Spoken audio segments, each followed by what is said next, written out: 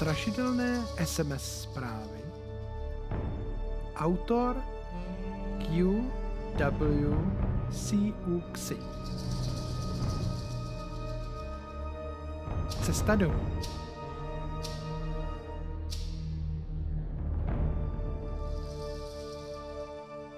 Máma. Zlato, nemám pro tebe přijet. Budu jistější, že se ti nic nestane. Mary.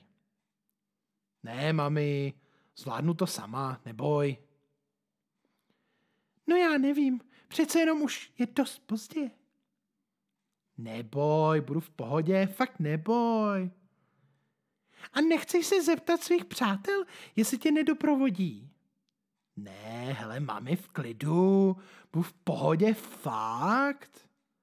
Dobře, ale pospíš si. Ale stejně cesta domů ti bude trvat, tak autobusem.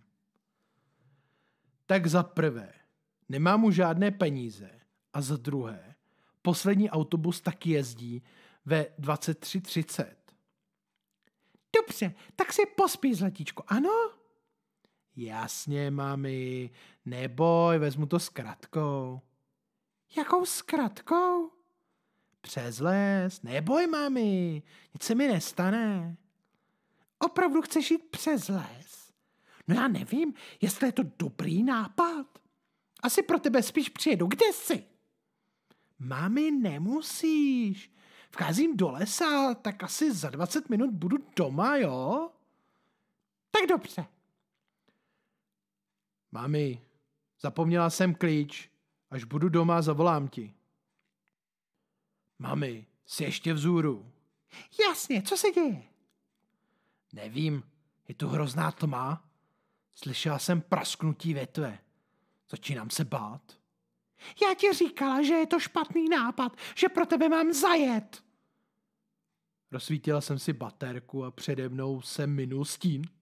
Tak utíkej! Dobře. Kde jsi? Mary! Mary! Mary! Jsem schovaná na stromě. A asi mě hledají, furt slyším praskání větviček. S... Cože? On tě někdo sledoval? Jo, mám strach. Slyším pode mnou chodit. Mami, pomoc, mám strach. Klid, jen buď potichu a vše bude v pořádku. Dobře. Volám policii, vše bude v pořádku. Dělej, prosím, furt chodí přímo pod tím stromem. Už jsou na cestě, za pět minut jsou tam. Ještě vydrž, potichu. Jsi tam? Mary, co se děje? Kde jsi? Mami, kde jsou ty policajti? Volá na mě. Mami, to, to je někdo známý? Vol, volá na mě jménem. Mami, kde jsou? Mary, už tam mají být. A jak, jak, jakýže na tebe volá tvým jménem? Měla jsem tebe i tátu moc ráda. Mary, nemluv tak. Určitě se vrátíš a půjdeme spolu koupit to nové koťátko, které tak moc chceš. Mami, mám velký problém. Je pozdě, našel mě pomoc. Mary, jak tě našel? Mary, Mary, Mary, odpověz!